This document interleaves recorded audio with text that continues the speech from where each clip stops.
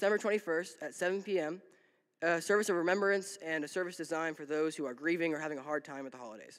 Everyone's welcome to come, and that's pretty awesome. After the Advent candle uh, reading, the kids are dismissed. Yay!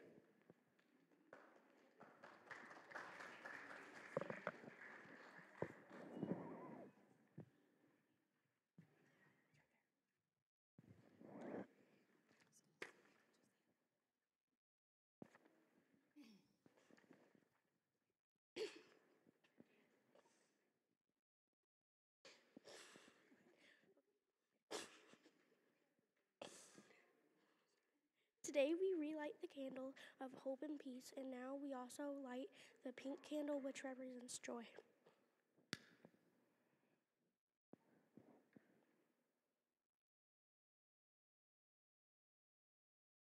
Luke chapter 1, verses 30 to 38.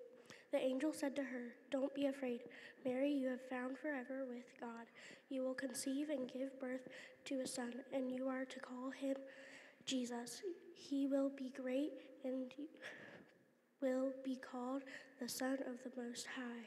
The Lord will give him the throne and the father David, and he will reign over Jacob's descendants forever. The kingdom will never end. The Holy Spirit will come upon you, and the power of the Most High will overshadow you. So the Holy One to be born will be called the Son of God. For no words from God will ever fail. I am the Lord's servant, Mary answered. May our words be to me the be filled. Then the angel left her. Luke chapter 2, verse 10 to 12 and verse 19. The angel said to the shepherds, Do not be afraid. I bring you good news and will cause great joy for all the people. Today in the town of David, a Savior has been born to you. He is the Messiah, the Lord. This will be a sign to you. You will find a baby wrapped in cloths and lying in a manger. Mary treasured up all these things and pondered them in her heart.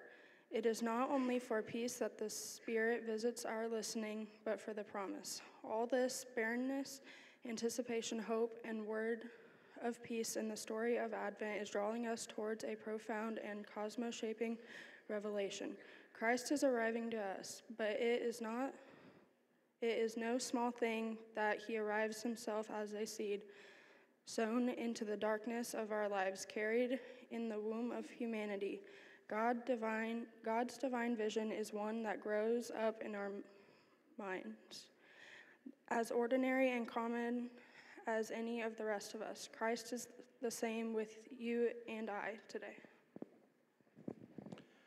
You too are invited to hold Christ and his promises within us, growing in the midst of our daily living as hidden miracles, and anticipating their full birth of God's timing.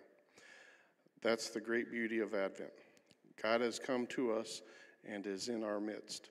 Like Mary, we're invited to ponder those things in our hearts as we carry the presence of Christ in each season and in every place of need. Because if living, listening lives, we'll, we'll hear God saying to us in many little ways that we too conceive and give birth. Luke 1, verse 31. Through the scripture, a visit of God's joy to the heart, a passing comment in a conversation with a friend, or through the line in a book or a song. God speaks to our everyday needs and longings. All these little messages are meant to stir anticipation, to alert us, and to, to begin open us up. Each one awakens us to a bigger picture the expectation of change, the arriving presence within us of His love. And it's through His practice of holding God's promise within us and living into them that true spiritual joy springs up. Because joy is living in the delight of what God is going to do as much as what He already is. It's prophetic that way. That kind of joy, like God's peace, is transcendent because it can live untouched by the taunts and terminalities of this world. It's not based on what we experience today, but on who God is and what He has said He will do. Be thy biblical promises of Christ's ultimate victory or His own personal word to us today. By calling them to memory and holding them within our hearts, we can more fully live in the joy that God is and will arrive to us. Yes, Christ is coming, but in Mary's story, we discover He's already here, sown in our midst, growing up with us, pouring out his peace and love. Please pray with me. As we consider this Christmas and the presence of Jesus in our lives, what little messengers has God sent to you that are a source of joy? Allow the joy of the presence of Jesus to fill you today. Heavenly Father, help us to see and notice the places in and around us where your miracle is growing up, awakening to holy ordinariness, and inhabiting Advent joy. Amen. Children, you're dismissed. You may meet your teachers in the back.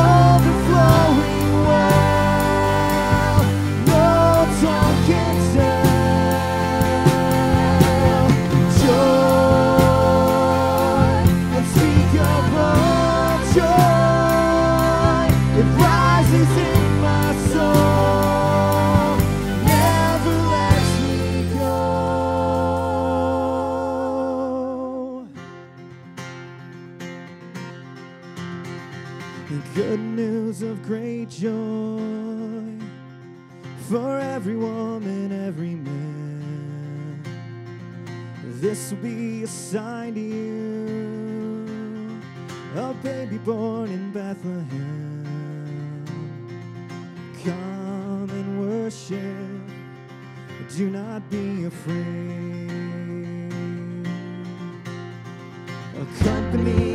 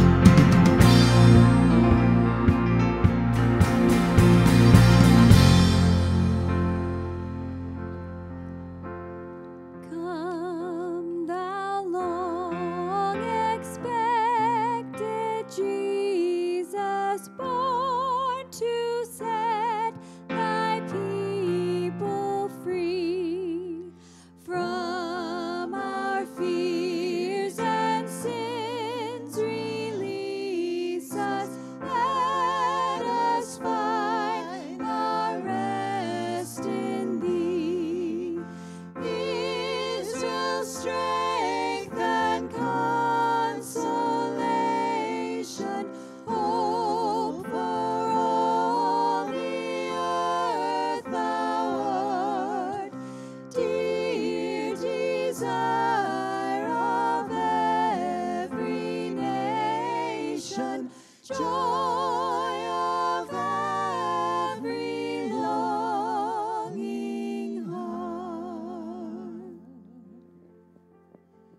Amen. Before we go into a time of prayer, um, as the goofball on staff, I just got to be honest, you guys look beautiful.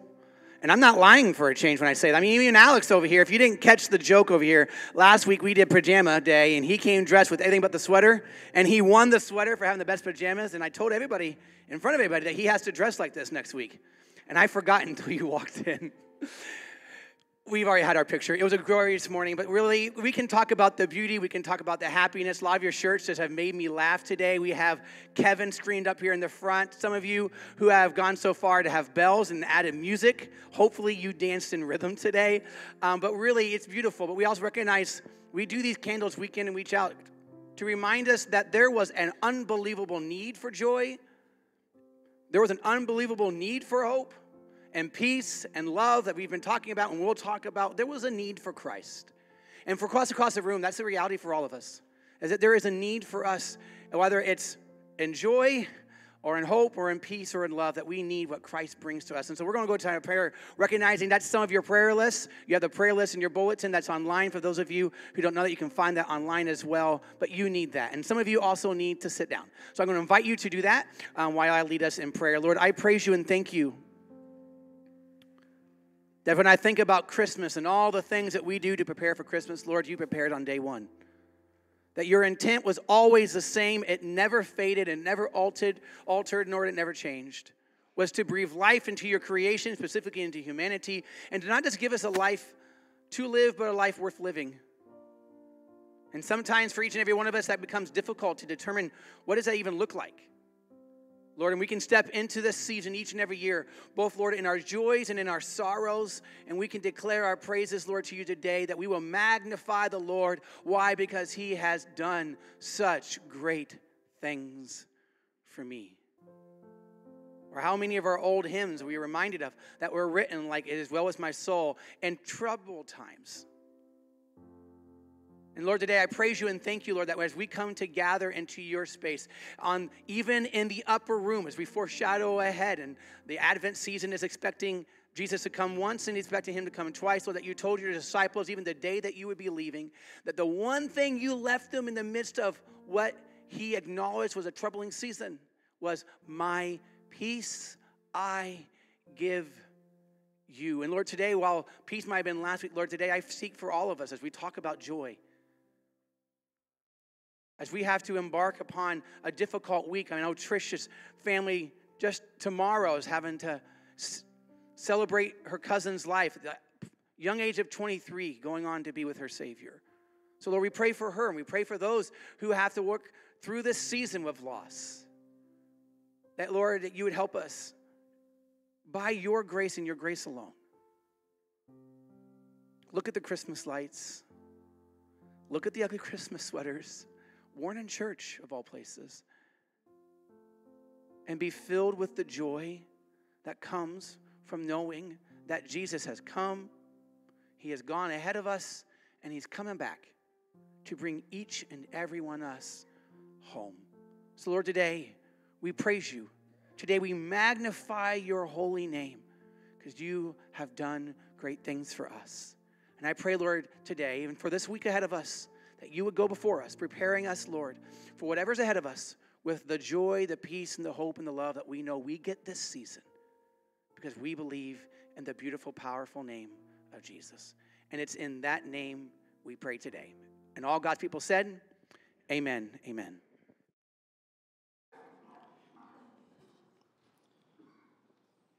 You know, as Pastor Jason said there, even though this is called the most wonderful time of the year, um, for some people there are hard things about this season. And that's what the Blue Christmas service is intended uh, to do. It's to create a quiet, safe space for those who need to acknowledge that there are some things where it's hard to be joyful. Um, those who have suffered loss or grieving, uh, and it doesn't even have to be this year. Or maybe it's just this is a stressful season and you need a quiet place to just acknowledge that, that you need peace. That's what that service is attended, intended for. And, and if it's not for you, that's okay. I mean, you don't, I'm not going to twist your arm to come, but, but it can be a memorial service if you just want to remember someone. Um, and it can be a, a time of just acknowledging that, Lord, I need you because I lost my job, or I'm grieving because we can't be together as a family this year. Whatever it might be, um, that's what that service is intended for. Uh, and then I want to just say a public thank you. Um, so this week, um, I was at the hospital, and uh, it was for not me, but for someone else for a small procedure. And uh, while we were there, um, we saw Julie Kritzer, and uh, it just brought me peace. Uh, and she was just there working. I mean, it, she, you know, was there doing her job, and seeing her, and she came up to us. She saw us, and she smiled, and uh, it took me a minute to place the person because I'm used to seeing her here and seeing you all outside of this room. I always have to take a moment to be like, wait, who is this? Oh, yeah.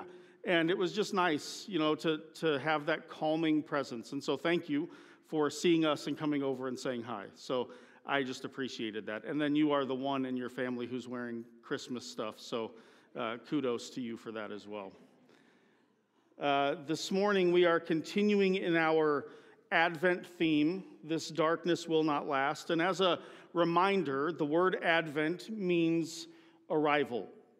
And people had been waiting for a long time for the arrival of the Messiah, for Jesus to come. And the first advent, the first arrival, is what we celebrate at Christmas that Jesus was born, and then the anticipation that we still celebrate and we look forward to the return of Jesus, and that is the second advent. And waiting for the arrival of a long expected baby is not easy. And now the people, they maybe didn't know what exactly they were waiting for, but they knew that they were waiting for something. And I recall uh, during our parenting lives, Trish and I, there was a season where um, she was pregnant with Amos and she had some early contractions. We're talking like 10 weeks early, something like that, nine weeks early, 12 weeks early. See, my math is not, uh, I wasn't the mom. So, but she had what was considered a high risk pregnancy, anyways, due to previous C sections and, and miscarriages. And so we were anticipating this little one. And we went for an ultrasound early on. And one of the real answers to prayer, one of the cool things, is that, um, and I've maybe shared this before, but so uh, all of the other pregnancies had been on one side of her womb. We'll just, uh, we'll be biologically vague. But she had, her womb was shaped like a heart. It has a, a half wall in it. That's not normal. That's a, a birth thing that she was just born with that. And so it was a crowded space, if you will. Uh, all of our sons had to be born a little early, probably because it was a crowded space. They grew too big for that area. And they had all been on one side, and so the wall of the womb had thinned to the point where she was considered high risk because it could rupture. And if that happens, it's very serious for the mom and the baby. And so, because she went into uh, early labor, early contractions, she had to be basically within like 20 minutes or less of a hospital that could handle it. At the time, we lived in Bloomington, and she had to come up here and live essentially across the street from University Hospital uh, here in Indianapolis. So, for roughly nine to 10 weeks, uh, the three boys and I were home while Trish was here waiting for Amos. And the reason we chose Amos's name uh, this is just an aside, so you know this. Um, he was, when we went to one of the ultrasounds, and the doctor said, You're not going to believe this. Um, he's on the other side. All your pregnancies were on the one side where the wall is thinned. He's on the other side. I believe he said uh, he gets that new car smell, so to speak, uh, which is a little crude, but nevertheless, you get the idea. And the name Amos means carried by God. And we just felt like, wow. I mean, how can that be other than the Lord stepping in, right? But I recall what it was. The, the point of this story was I recall what it was to attempt to be patient as you wait for the arrival of a baby, and attempt to be patient when the situation is not ideal and you really need this one to come and you need the situation to get better. And that's how the people felt. The people who were in darkness is what the verse says we'll read in a moment. They were they were waiting and waiting is hard. We don't like to wait, do we? We don't like to wait. We are a people who don't like to wait. And, and that's not a new phenomenon. People do not like to wait. And the people of Israel had been waiting centuries, a lot longer than nine weeks, for the arrival of this Messiah. Would you read Isaiah chapter 9, verse 2? The people.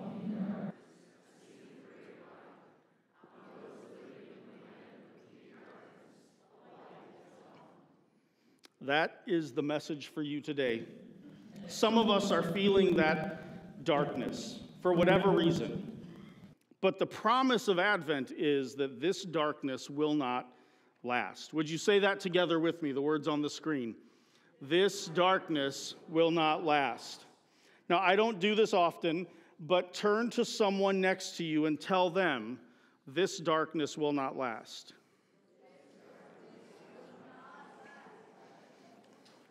It's always interesting to me to see which one is your favorite, who you turn to, and who you ignored. There, I just started an argument in half the homes. That's what I do as a pastor because I love you. A quick reminder next Sunday, we will hear from our choir, including the teens and the kids. As Ace said, it's going to be a great morning of worship and celebration. And I promise that just like I believe every Sunday there is a message for you, I believe that next Sunday in the service there is a message for you through the songs, through the worship, through the readings. Uh, God is going to speak to us. And as another reminder, the next three Sundays, we do not have Grow Deep in the morning. So the 9:30 Grow Deep time, we do not have. It'll just be the 10:30 service. So if you come next week for Grow Deep, you may get drafted into the choir because they'll be in here rehearsing. So, and if you're not a singer, then you're just going to end up having to help wrangle the kids. So that's just your warning. Um, or I'll make you serve coffee. So today we are continuing the theme of Advent as we then look into Isaiah chapter 9, verse 6. So, would you read uh, this text for us as well? For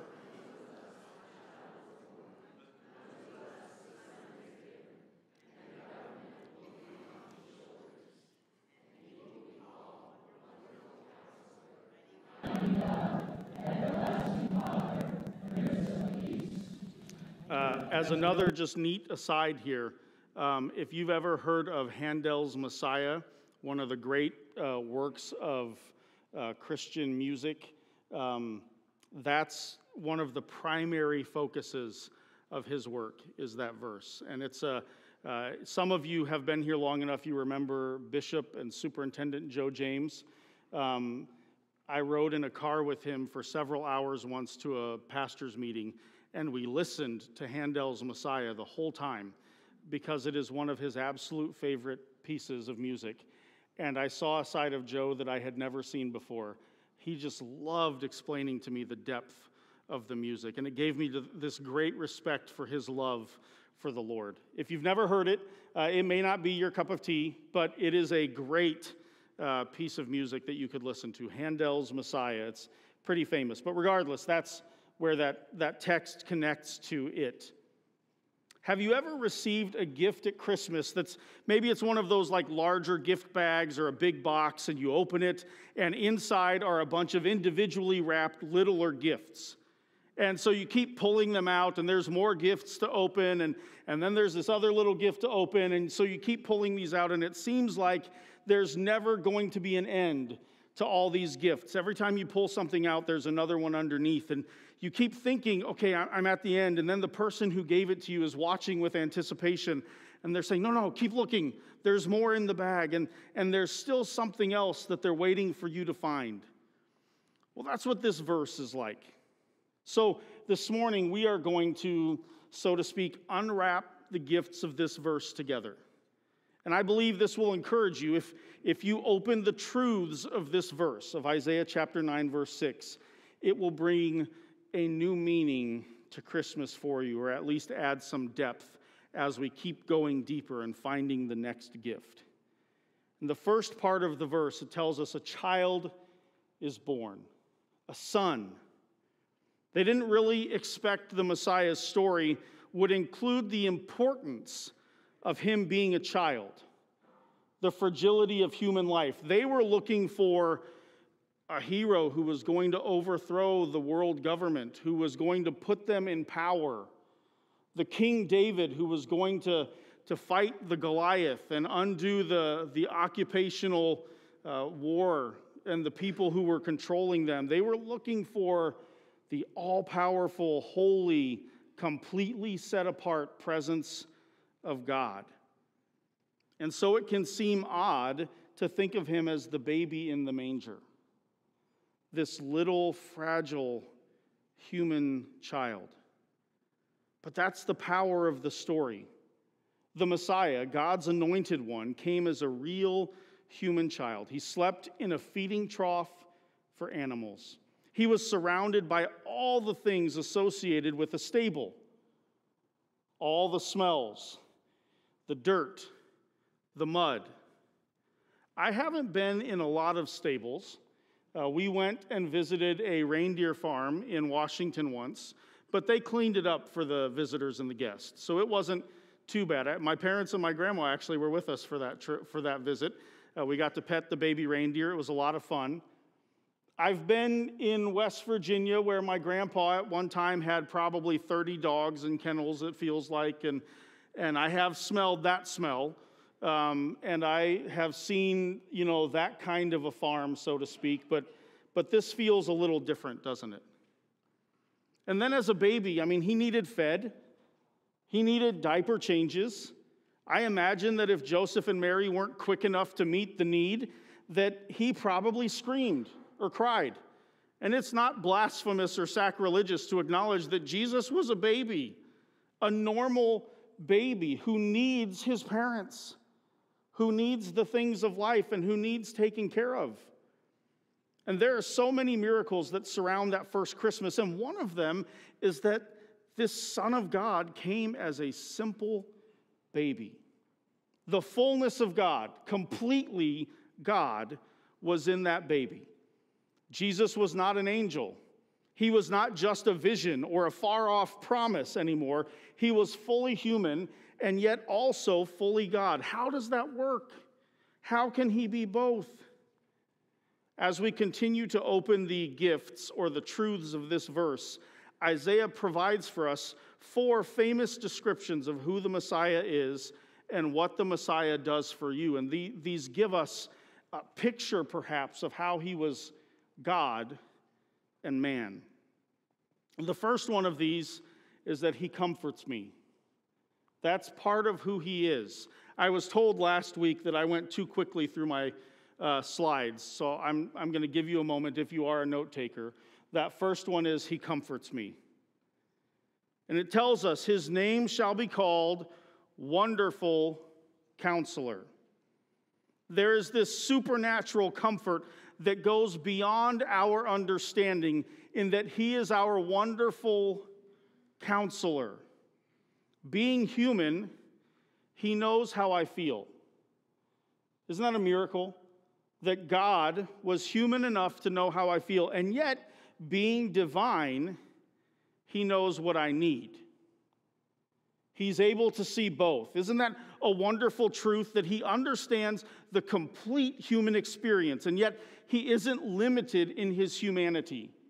I mean, I understand some human experience. I think I do a pretty good job with it, to be honest. It's one of the reasons I enjoy premarital counseling and encouraging people because I feel like I, I do understand human struggle and I know what it is to need help. But I don't know what everyone needs aside from Jesus. I don't have the divine perspective, but Jesus did. He was fully God, enough to know all of us. If we stop there, however, Jesus becomes like a, a super therapist in the sky, if you will. He turns into sort of a life coach who always knows the best answer. And I think that we can get caught up as believers in that self help view of messages at church or reading the Bible, seeking life advice and how we can live life better. And that certainly is one of the ways that Jesus speaks into our lives, but it has to go much further than that. If my sermons are only ever helping you know how to be a better you, then I'm kind of missing the mark because it's deeper. Because he also rescues me. He doesn't just comfort me, he rescues me. The text there in Isaiah 9 says, He is our mighty God. The word mighty here in the Hebrew, one of the translations, one of the ways to understand this is a doer of great things, a doer of great deeds. If you think of biblical heroes that the people would have known, Moses, who helped bring the people out of Egypt, Joshua, who helped bring down the walls of Jericho and led the people, David, who was a wonderful leader in so many ways and fought so many battles. This is the image that the people would have. Okay, the mighty God, this hero who is going to fight and save and set us free. But, but don't get stuck here on the mighty idea of a hero. Don't, don't think of Jesus as a, a pretty cool Spider Man or Batman or whatever it might be. Because the fragility, the humanness of Jesus was part of his greatness. The heart of the Christian gospel is that God made himself fragile to rescue us. The vulnerability was part of his rescue mission. Many religions or mythology stories involve quests. A quest that a hero goes on or someone goes on to please the gods, to reach the gods, to appease the gods, or to try to become part God themselves. Christianity, however, I think is the only story I've come across where God goes on a quest to reach humanity, where God goes on a quest to let go of the things that people seek after in order to reach people. How many of you have seen a lifeguard in action sometime in your life? Anyone? I, we have some lifeguards here who maybe have been the lifeguard in action. I've been to plenty of pools, even beaches where there are lifeguards, and if they see someone struggling, if they see someone and they think they're drowning, what do they do? They don't offer good advice. Hey, swim harder. Try the dog paddle, it works. Do you know how to tread water? No, they jump to the rescue. They dive right in. They blow a whistle and they go right in as they're, it feels like as they're blowing the whistle. They go right in. It's amazing to watch because you don't even know something's wrong and they're in the water by the person almost immediately. And if we're not careful, the message of the church can sometimes seem like we're teaching people how to swim better. But the world doesn't need to know how to live better. They need to know that they are rescued, right? Now, yes, sometimes we need to know how to swim better because we have been rescued, but so many just need rescued. And the gospel isn't just good advice. The Christmas story isn't just a, fun story, it's, it's good news. The good news is that God sent his hero to rescue the world, to dive in immediately and save the people who needed rescued. And then he goes even further. We don't just need comforted or rescued, he adopts me. He adopts me. He, he doesn't just comfort us and rescue us, he brings us into the family. How, I, I could ask Logan, because he's been our lifeguard, how many of them did you then invite home to dinner and and ask your parents to give a room? I mean, probably none, unless Alex was someone you had to save at some point, right? That, that's not usually how a lifeguard works. But he is the everlasting Father. And we could go so many different directions with that. But for now, think of the best things that a father offers maybe compassion or support. I mean, what are some of the things that a good human father provides? Just you can shout it out. What are some good things that a good human father can provide? Guidance, love, leadership, discipline, a home, a hug, love, good directions. help, security. I'm surprised nobody said money. Ethan's not here. Maybe that's why no one said it. Lately, the one who's the furthest away is the one who needs the most money. I know that not everyone has a great image of father. And there are many who may have had a difficult time growing up with an abusive father or an absent father, and so they hear these descriptions, and their own father doesn't seem to match this at all. And so when we talk of an everlasting father in this Christmas verse, it might be hard for some people to separate who their human father is and who the heavenly father is. And there may be a worry is God just some omnipotent version of my terrible father? And in his all powerfulness, he's able to do all the hard things that my father did forever. That doesn't sound great. But that's not what it is. What this means is that God is the is all the good things that your human father may have failed to be or should have been. And no human father is perfect. None of them. My dad came pretty close, but it's not Christmas yet, so I still have a chance.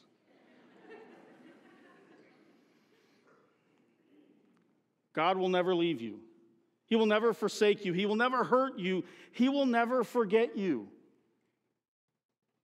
Not for one second does he forget that you are his child. He loves you as the best father in the universe because he is everlasting. We know his love, excuse me, is eternal because he is everlasting. We always have hope. We always have love. We always have compassion. You get the idea that his everlastingness means that all of the best things of a father are always who God is. And he adopts me. It is an everlasting adoption. I am forever his child because he adopts me. And then finally, he restores me. He brings restoration because he is the Prince of Peace. He is the Prince of Peace who restores me. And that's a big deal. That's a big part of this. And what is the Hebrew word for peace? I'm sure some of us know it, and I bet some of you know it once you hear it, even if you didn't know you knew it. But I'm sure some of you, what is the Hebrew word for peace? Shalom. A good number of you knew it. Good job. We do have a lot of pastors in the congregation, so that helps. Say that word with me Shalom. Doesn't it almost have a peacefulness in just saying it? Kind of rolls peacefully off the tongue, right?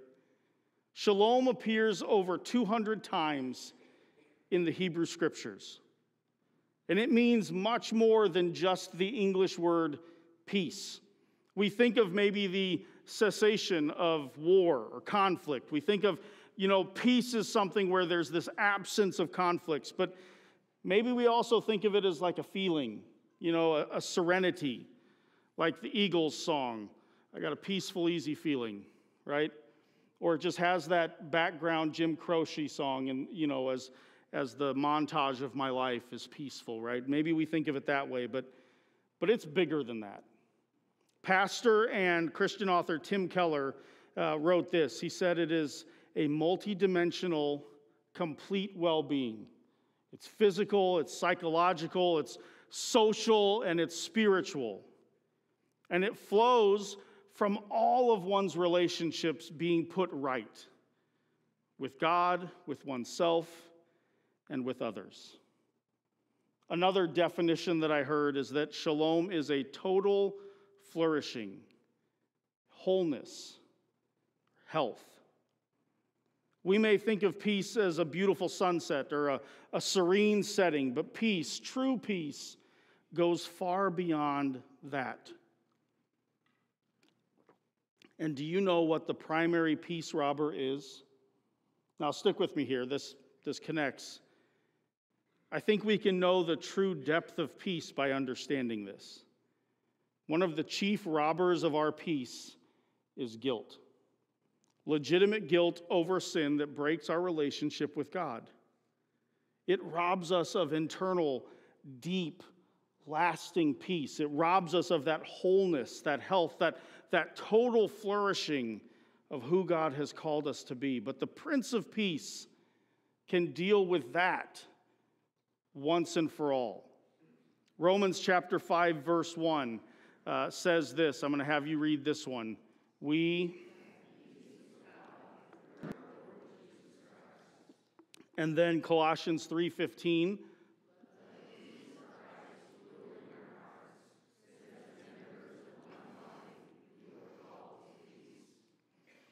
One day, this Prince of Peace will restore total shalom, total peace to the earth.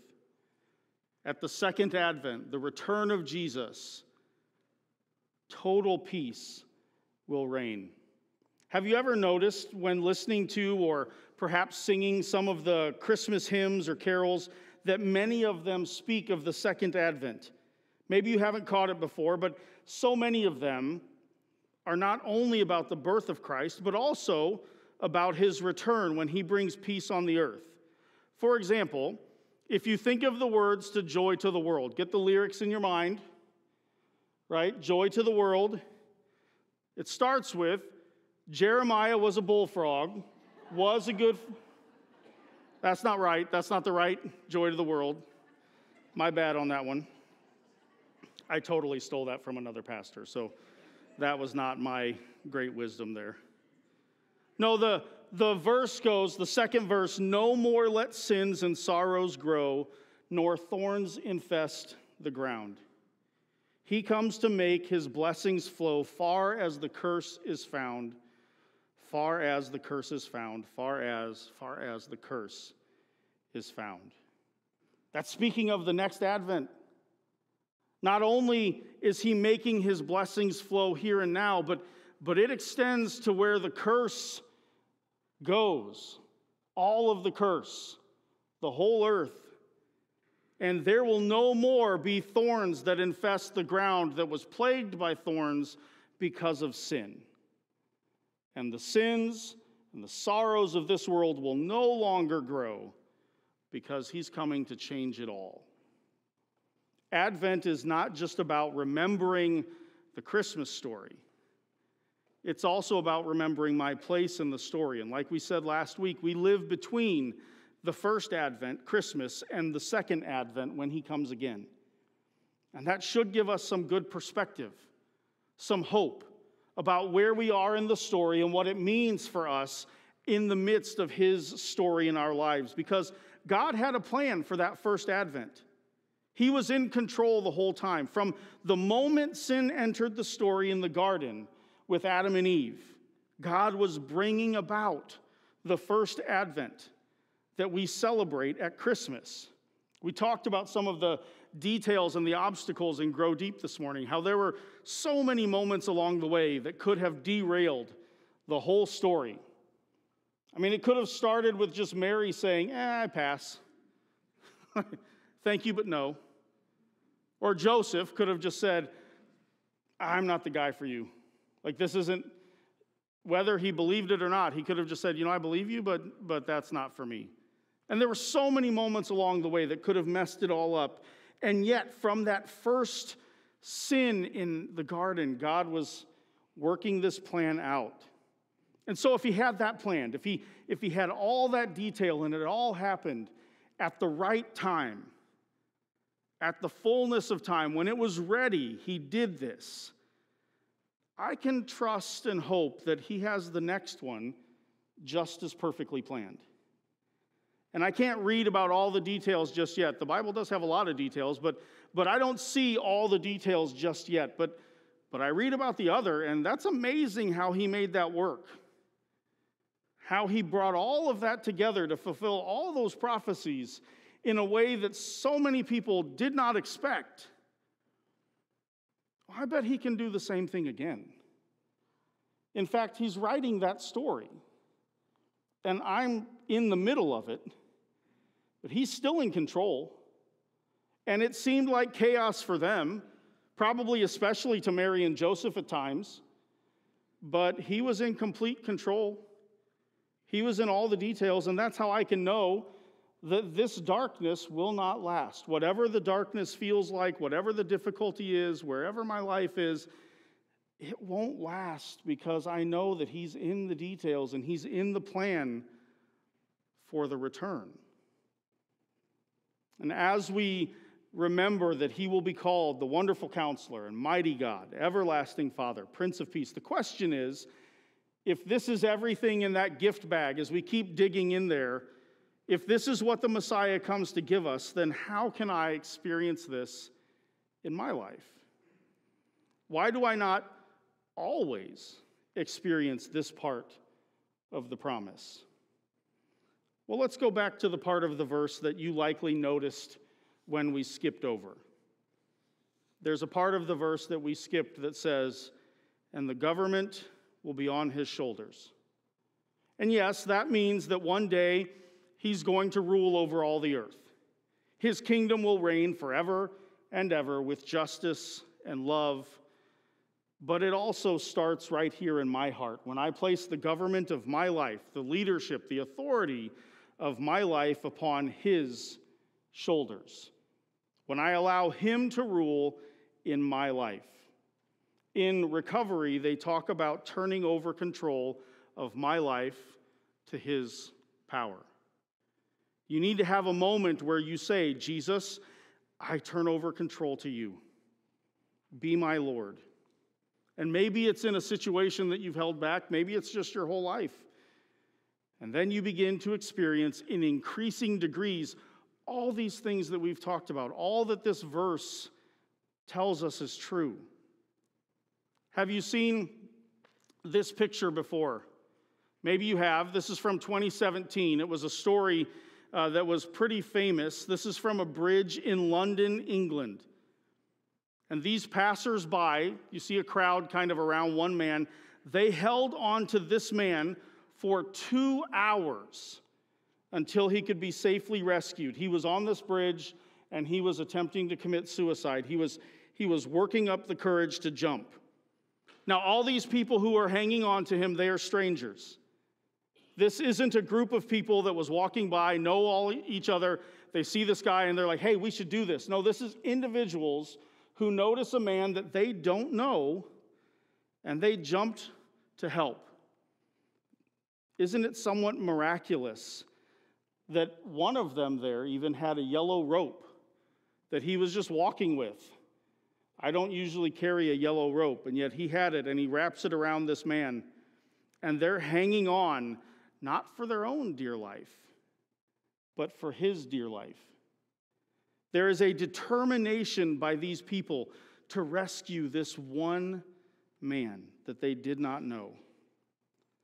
The message of Christmas and the message of this passage from Isaiah is that God is full of determination to rescue you. And once you realize that, once you take it in, that mission unites all of us like these strangers.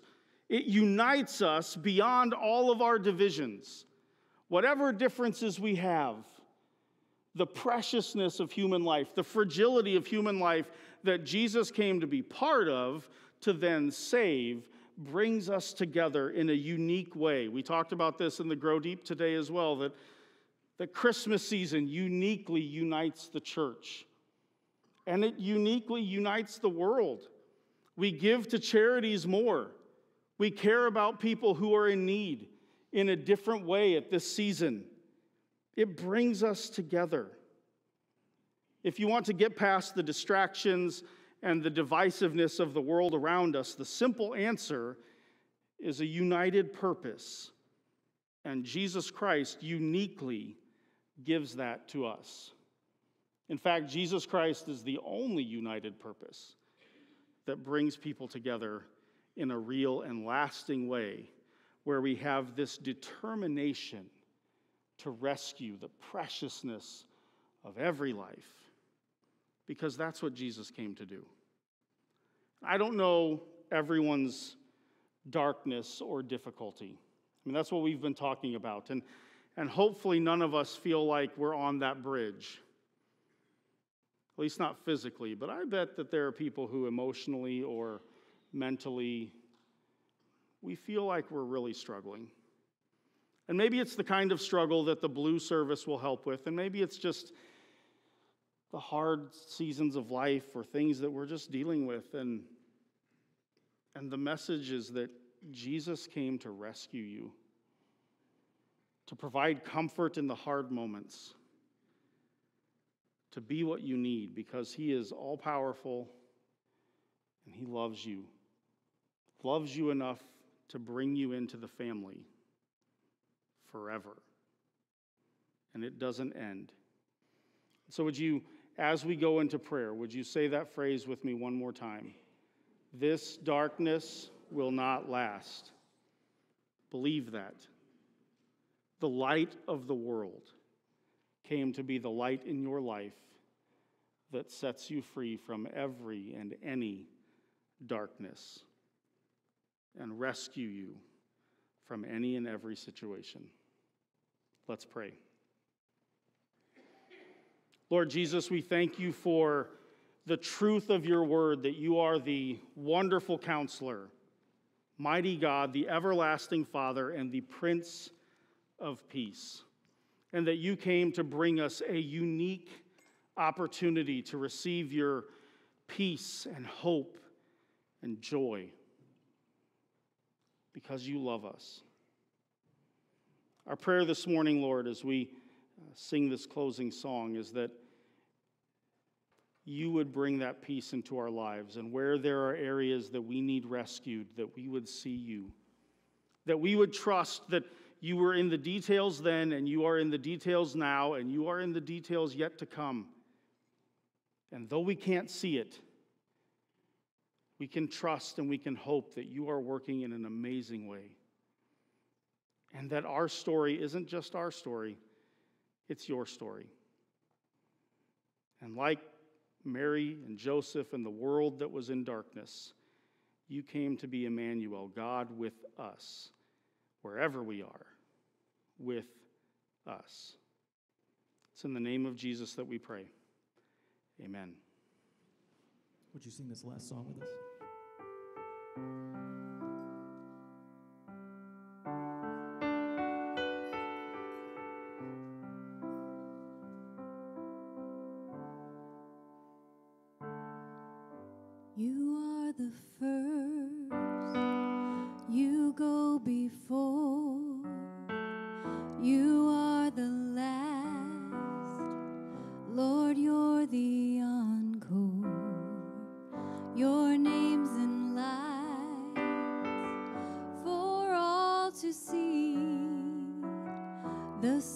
Starry host declare your glory.